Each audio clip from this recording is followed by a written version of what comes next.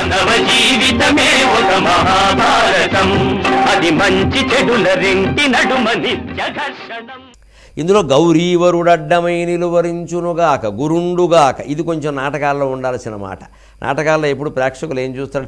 శత్రువు పేరు రాదే ఆ ద్రోణాచార్యుడు పేరు రాదే దుర్యోధనుడు పేరు రాదే అని చూస్తారు. అందుకని పద్యంలో వాళ్ళ పేర్లు పెట్టారు. గురుండుగాడు గౌరీవరుడడ్డమై నిలువరించునుగాక. ద్రోణాచార్యుడు కాదు. సాక్షాత్ శివుడు అడ్డంగా వచ్చి నిలబడినా సరే ఈ మాట తిక్కన గారి పద్యంలో లేదు. ఎందుకంటే పదమూడవ శతాబ్దం నాటి ప్రేక్షకుల ఊహలు అలాంటివి కావు. ఇరవై శతాబ్దానికి మారాయి ఇరవై శతాబ్దంలో కూడా ఎన్టీ రామారావు గారు ఏఎన్ఆర్ గారు సినిమాలు వచ్చినప్పుడు ప్రేక్షకుల వ్యవహారాలు వేరు. రామచరణ్ గారును మహేష్ బాబులు వచ్చినప్పుడు ప్రేక్షకులు వేరు. దాన్ని బట్టి ఇప్పుడు సినిమాల పేరు మీరు పోకిరి జలస జులాయ్ ఇలాగే ఉంటాయి మరి. ఏం చేస్తాం మన తత్వాలను బట్టి. మనకి అలా ఉంటే కానీ మసాలా తలకెక్కదు. అంచేతనే గమనించాలి. ఈ కాలం వాళ్ళకి ఏం చెప్పాలన్నా ఈ కాలపు భాష కొంత ప్రయోగించక తప్పదు. మళ్ళీ తిరుపతి వెంకట కవులు ఇలాగే మరోసారి కురుక్షేత్రం రాస్తే ఇంకో రకంగా రాస్తారు. మీరు కరుణశ్రీ గారి చేరు చూసుకుంటే తిరుపతి వెంకట కవుల కంటే కూడా కొంచెం భిన్నంగా ఉంటుంది రసం పట్టు దెబ్బ తినకుండానే కాస్త ఇంకొంచెం సులభంగా ఉంటుంది ఇది పద్యాల మధ్యలో భేదం మనం గమనించుకుంటే ఇప్పుడు మళ్ళీ ఇంకొక మాట ఇందాక ఏమన్నాడు? ఎల్లి సైంధురాజు నవశ్యంబును ఎల్లి సంపుదు. ఎల్లి. ఇది వెళ్ళి కాదండి ఎల్లి. ఎల్లి అంటే రేపు అని అర్థం. రేపు అంటే ఉదయం అని అర్థం. మనకి తెలియక టుమారో అనే అర్థంలో వాడుతున్నాం. రేపు నిజానికి కావ్య భాషలో రేపు అంటే ఉదయం. రేపంటి రూపము కంటి నీ క- పువ్వు వింటి దొరనేనంటి అని పాఠం ఉంది. రేపంటి రూపము కంటి ఏం గొప్ప కవిత్వం అండి. ఉదయం లాంటి రూపాన్ని చూశాను అన్నాడు. ఏదో గున్నమావి చెట్టు అన్నట్టే. గుణశాలి మీ వదిన గున్నమావిడిలాగా అని రేపంటి రూపము కంటి. ఉదయిస్తుంటే ఉదయ వాతావరణం ఆకాశంలో ఆ ఎర్రగా వస్తున్న బాలసూర్యబింబం ఇదంతా ఎంత అందంగా ఉంటుందో నీవు నువ్వు అంత అందంగా ఉన్నావు. రేపంటి రూపము కంటి. ఆ రేపు ఉదయం అయితే మరి రేపు మరు మరుసటి రోజు ఉండడానికి ఏం వాడేవారంటే ఎల్లి అని వాడేవారు. అందుకే ఎల్లుండి అంటే ఎల్లి తర్వాత ఉండే రోజు ఎల్లుండి. దాని అవతలది అవతల ఎల్లుండి పలకలేకపోతే అవుటాలెల్లుండి అంటారు కూడా. అవుటాల. అంచేత ఎల్లి ఎల్లుండి అవతల ఎల్లుండి. ఈ మాటలు అలా వచ్చాయి. ఇప్పుడు అంటున్నాడు తిక్కనగారి పద్యం ప్రకారం ఇంకొంచెం స్పష్టమైన ప్రజ్ఞ. తిరుపతి వెంకట రెండు తిక్కనగారు రాసిన రెండు పద్యాలని ఒక చోట కలిపారు. తిక్కనగారు రెండు పద్యాలు రాశారు. ఎందుకంటే అది శ్రవ్య కావ్యం తిక్కనగారిది ఇది దృశ్య కావ్యం దృశ్య కావ్యంలో ఊరికే పద్యాలు పెంచుకుంటూ పోతే తెల్లారిన నాటకం అవదు అందుకే పాపం గురజాడప్పారావు గారు ఏకంగా పెద్ద నాటకం ఆయన చదువుతారన్న దృష్టితో రాశాడు. పాపం ప్రదర్శన అన్నట్టుగా ఆయన పెద్దగా దృష్టిలో పెట్టుకోవాలా? అవన్నీ ముందే ఊహించలేరు కదా దానికి పట్టే యోగాలు దానికి పడతాయి. తొమ్మిది గంటల పైన పది గంటల పైన వస్తుంది కన్యాశుల్కం నిజంగా ప్రదర్శించాలంటే పూర్తిగా. తెల్లారిపోతుంది అది కూడా. దాన్ని మళ్ళీ అందుకే చేయక సాధ్యం కాక ఆధునిక కాలంలో అంతగా ఉండే ప్రేక్షకులు కూడా లేక మూడు గంటలు కుదించి వేస్తున్నారు. తిరుపతి వెంకటకవులు కాస్త దృష్టిలో పెట్టుకుని ఐదారు గంటలు మించి వేస్తే మరీ కష్టమే. అన్నట్టుగా ఆ సంఘటనలు కుదించి రెండు మూడు రకాల ఘట్టాలని రెండు మూడు సన్నివేశాలని ఒక పద్యంలో పెట్టి. ఇప్పుడు తిక్కన గారు విడదీసి చెప్పిన దాక ఎల్లి అన్నాడు రేపు అన్నాడు సమయం చెప్పాల? ఆ నిమిష దైత్య కిం పురుషుల ఎవ్వరు వచ్చి కాచినన్. ఇప్పుడు చెబుతున్నాడు సమయాన్ని కూడా.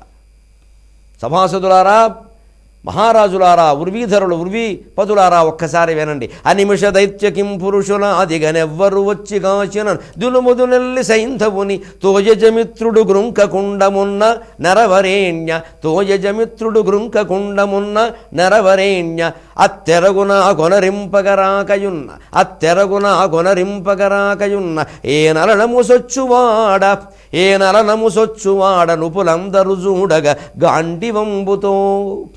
ఇందాకటి పద్యంలో చెక్కన గారి పద్యంలో చెప్పలేకపోయిన రెండు షరతులు ఇప్పుడు చెబుతున్నాడు.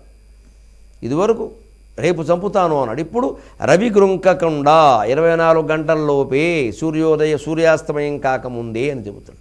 పైగా ఇప్పుడు ఇంకొక షరతు ఏమిటంటే ఇదే కొంపల మునిగే వ్యవహారం అంటే ఒకవేళ అలా చేయలేకపోతే గాండివంతో సహా అగ్ని ప్రవేశం చేస్తాను అని ఎక్కడ ఒక్కసారి కృష్ణుడి ఒళ్ళు జల్లు మంది. అమ్మ బాబోయ్. ఇదే ఆవేదనలోనైనా ఆవేశంలోనైనా కాస్త ఆలోచించి మాట్లాడడం మంచిది అంటే. చేస్తానని చెప్పి ఊరుకోవచ్చు కదా చెయ్యకపోతే ఎందుకు? చేస్తాను సరిపోయి ఇప్పుడు ఆ చెయ్యకపోతే అన్న దాని మీద ఉంటుంది మిగిలిన వ్యూహం అంతా కూడా. ఇప్పుడు చూడండి దుర్యోధనుడు యొక్క ఆలోచన ఎలా ఉంటుందో భయంకరంగా. ఓ సింధురాజు చావడం చావకపోవడం సమస్య కాదు ఇది ముఖ్యం మనకి. ఇప్పుడు సాయంత్రంలోగా చంపకపోతే అర్జునుడు అగ్ని ప్రవేశం చేస్తానంటున్నాడు. అంటే సింధురాజుని ఎలాగోవల్ల అర్జునుడు చావడం కోసం సింధురాజుని బతికేలా చేసుకుంటే వాళ్ళ చెల్లెల కోసం కాదు దుర్మార్గుడు. అర్జునుడు చావడం కోసం బావగారిని బతికేలా చేసుకుంటే తర్వాత బావగారు ఉంటే ఉంటాడు పోతే పోతాడు. ఇది ఇది ఈ ఆలోచనకు అవకాశం ఇచ్చింది అర్జునుడు అమాయకత్వం ఆవేశమే. అందుకని ఇక్కడ ప్రతిజ్ఞలో తేడా చూడండి. అనిమిష దైత్య కిం పురుషుల అదిగనెవరు వచ్చి కాచిన అనిమిషలు రెప్పపాటు లేనివారు దేవతలు దైత్యులు కిన్నరులు కిం పురుషులు. ఇందులో కూడా తేడా ఉంది. ఆ కిన్నరుడు ఆయనకి తలకాయ ఉంటుంది. తలకాయ మనిషి తలకాయ ఉంటుంది. మిగిలిన శరీరం అంతా వేరే శరీరం ఉంటుంది. గుర్రం శరీరం ఉంటుంది. కిం పురుషుడు వాడికి గుర్రం తలకాయ ఉంటుంది. మిగిలిందంతా మనిషి శరీరం. ఇది తేడా. దీన్ని చాలా చమత్కారంగా మంచి మృత్యకటికంలోనూ అక్కడ కాస్త తేడాగా చెబుతారు సరదాగా చక్క చక్కగా చెబుతారు. ఎందుకంటే కిన్నరుడైనటువంటి మానవుడు మనిషి తలకాయ కదా వాడు స్త్రీని ము- ముద్దు పెట్టుకోవాలని కోరుకుంటాట పెదవులు ఉన్నాయి వేరే శరీరం లేదు కాబట్టి.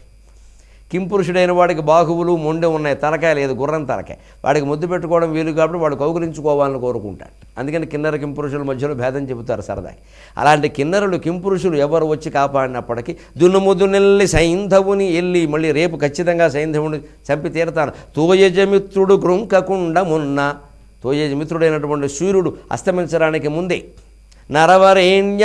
ఇది ధర్మరాజును ఉద్దేశించి చెబుతున్నాడు కాబట్టి రాజులలో గొప్పవాడవేన ఓ అన్నయ్య ధర్మరాజా అని సంబోధన ఈ తెరగున కొనరింపగరాకయున్న ఒకవేళ నేను ఇలా చేయలేకపోతే ఇదే కొంపలంటుకుపోయే విషయం. కృష్ణుణ్ణి ధర్మరాజుని కంగారు పెట్టిన విషయం.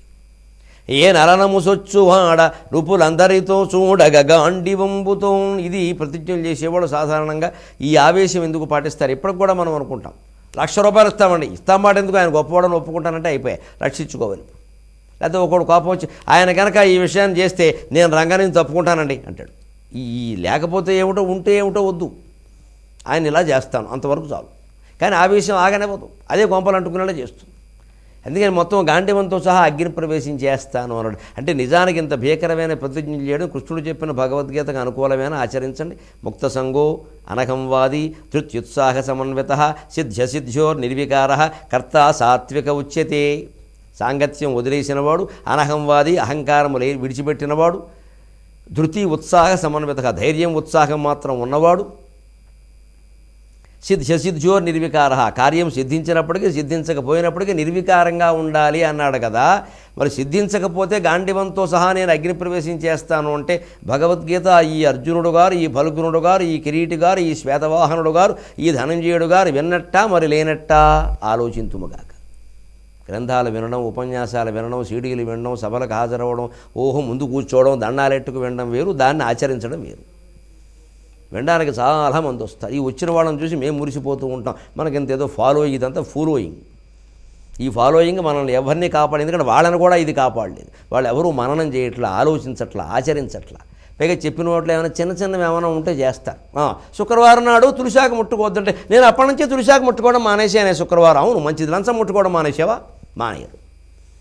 చూడు నెత్తి మీద మొగలి పువ్వు పెట్టద్దు అంటే నేను మొత్తం ఈ మొగలి పువ్వు ఎప్పుడు అసలు మొగలు తోటలోకే వెళ్ళడం మానేశాను. లేదు అబద్ధం ఆడడం మానేసావా మానయ్యారు మేబోటిగాళ్ళు ఏమైనా చెప్పి సులువైన ఉపాయాలు ఏమైనా చెబితే ఆకు ముట్టుకొద్ది పువ్వు పెట్టండి అంటే వెంటనే ఈ నైవేద్యం పెట్టండి అంటే తక్షణం పాటించేస్తారు. మేము గురువుగారు చెప్పినట్టు చేయండి చాలా తేలికైన విషయం అది. చేయడానికి ఏం పోయింది?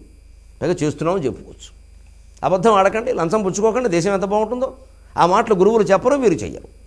అదంతా మనకెందుకండి? రాజకీయం రాజకీయం అది? వీళ్ళ దేశం దేశం మొత్తం కూడిపోయింది అవినీతితో. మంచిది ప్రవచనాల ద్వారా ఆ అవినీతి పోవాలి ధర్మం ఏర్పడాలి. అదే మన ఉద్యమం. అందుకు మీరందరూ సహకరించి ఆలోచించి కృషి చేయుదురుగాక. భారతదేశాన్ని అవినీతి రహితమైనటువంటి దేశంగా భరతమాత యొక్క ముఖారవిందాన్ని మనం రెండు వేల పద్నాలుగు ఎన్నికల తర్వాతనైనా చూడాలి. ఢిల్లీని స్ఫూర్తిగా తీసుకోవాలి మనం అందరం కూడా. సెలవు. మీ అభిప్రాయాలను సూచనలను మాకు తెలియజేయాల్సిన చిరునామా Bhakti TV care of Rachana television private limited road number తొంభై రెండు జూబ్లీ హిల్స్ హైదరాబాద్ ఐదు లక్షల తొంభై ఆరు మా email ID Bhakti HYD at the rate of Gmail dot com మా website WWW dot Bhakti TV dot ORG phone number తొమ్మిది సున్నా ఒకటి సున్నా రెండు రెండు రెండు మూడు మూడు మూడు